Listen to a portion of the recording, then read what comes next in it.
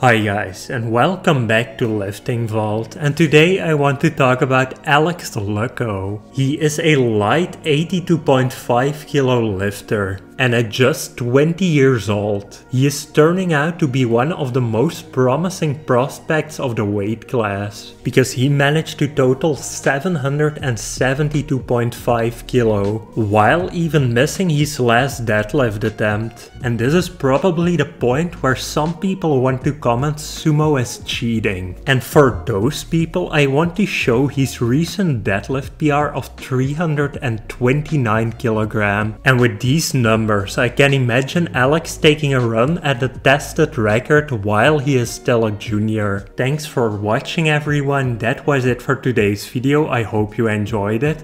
And if you did, don't forget to like and subscribe and check out one of the suggested videos displayed on the screen right now.